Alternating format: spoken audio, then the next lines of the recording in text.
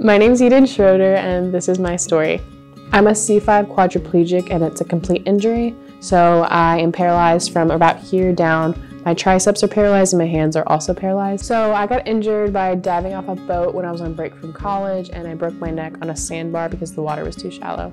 In the beginning of my recovery, I felt very unstable and unsure of the future. I was looking like right in the moment of what I was doing right now in the hospital and an inpatient, and like I was really looking long term. And now that I have a good support system, I'm very stable and like I'm looking more things that I enjoy to do, like being active, biking, swimming, um, finishing school. Shepherd Center has been amazing. That's where I met Heather um, when she was my physical therapist. I had two weeks in the ICU where I couldn't move my arms or anything. Then once I regained that function, I had three months of inpatient rehab, which was relearning how to do personal care, like brush your teeth, brush your hair, that kind of thing. I had three months of day program where I met Heather, which is more of learning how to do transfers, go out in public and live your life again. My name is Heather Jones. Um, I'm a physical therapist. When I first met Eden, she had a hard time just holding herself up on the edge of the mat. And to watch her progression and where she was when I met her almost three years ago, to where she is now has been amazing to watch her grow and become more independent and become more confident in herself. I always say that my patients teach me more than I teach them. My Eden's story kind of speaks for itself. Um, she has hands down changed my life, changed the way I think about things, changed the way I do PT. Concept has kind of always been there's the therapy way of doing things and then there's the reality way of doing things.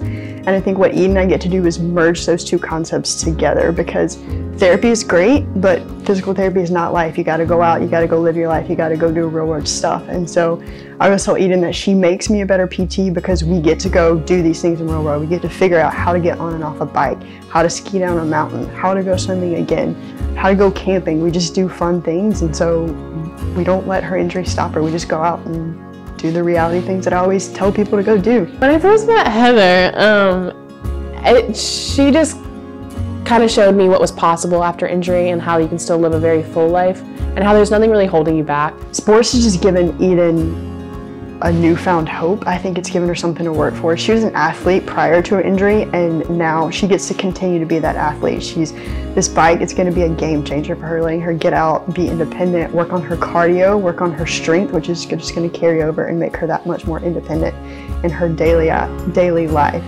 And also from a sports standpoint, like we love going camping and so this bike in itself is going to give her so much independence when we're out in the woods getting around she can go mountain biking with us and it's just going to be absolutely amazing. I'm super stoked.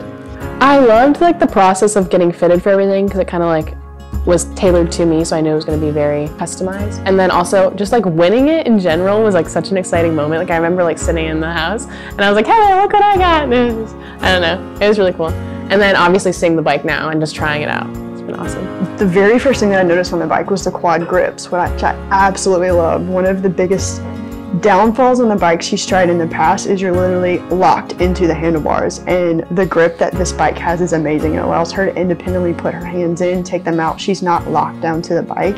That's going to be an absolutely amazing feature. Okay, that is the thing I'm the most excited about because it I'm not as scared when it has a quad setup because one, I can take my hands out when I need to, and two, the brake to be able to stop is like a game changer. So I'm not reliant on someone else stopping me.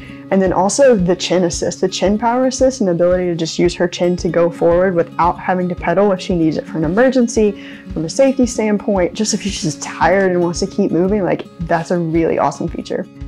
I'm excited to like get out there and like see what the bike can do and see what I can do on the bike. So I'm excited to try some trails, like maybe some jumps in there, maybe some twists and turns. I was looking for a different type of identity and not just a disabled person or someone with a spinal cord injury, but instead like an athlete.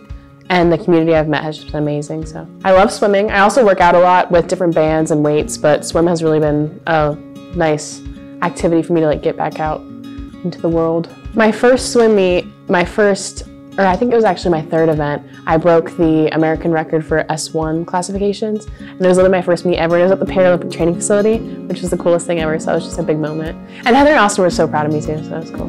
When I met Eden almost three years ago, she was my patient. Um, and we just worked together strictly PT patient relationship. And after she discharged several months later, we kind of kept in contact. And it started out her just coming over on the weekends. We just hung out. We'd kind of said, hey, let's keep doing fun things, work on your transfers where you can get a little bit more independent.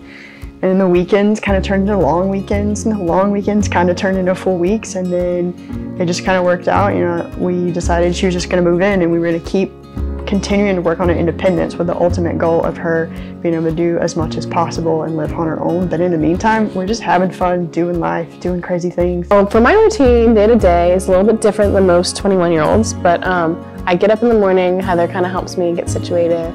Um, we drink coffee together, and then I brush my hair, wash my face, brush my teeth, um, make another coffee because I love caffeine. and then I end up doing this workout we put together with my bands and my weights, so I get set up for that. And after that, I usually make my breakfast. Then I um, do my schoolwork for the day, wait for Heather to get home from work, and then we go in the standing frame for a little bit while she works out. And then afterwards, we make dinner together and then watch a show and then go to bed. When it comes to riding and having a hand cycle, I just like I'm excited for the independence it's gonna bring too, but also like the freedom. I go as fast as I want. I'm like an adrenaline junkie, so like I love doing that kind of thing. And then I can keep up with my able-bodied people that I hang out with. I know. Um, but I was hand cycling and swimming for me are kind of like they go hand in hand because swimming is like you have so much freedom in the water. Um, there's nothing holding you back, and hand cycling is kind of the same way because even with the power assist, like I'm able to do everything that people around me are doing, so there's nothing really holding me back. And with that setup too, because it's so perfect for me, it's like I can do everything by myself. Like I don't have to ask anyone to like fix me or help me. So I'm excited. Be sick. I'm so pumped. I think I really do appreciate my life more being paralyzed, just because you appreciate the people around you more. You appreciate the things that you can do more. It's just like you have a different perspective on like the world. I think that there's so much more that disabled people can do that people don't realize, which is why I try to show on social media the stuff that we can do rather than the stuff that people think that we can't. So it's just kind of breaking the stigma of we're not just sitting in our houses doing nothing, we're going out and doing things every day, and we can do sports.